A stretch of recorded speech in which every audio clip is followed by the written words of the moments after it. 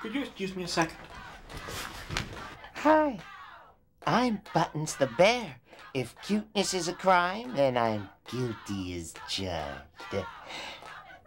You can't sweet talk me, you spawn of Satan. I don't know if you've noticed that I'm a subtle blend of the finest alpaca and cashmere, interwoven with selected strands of newborn baby's hair. Go on. You're so misguided, so evil, Uh, so soft.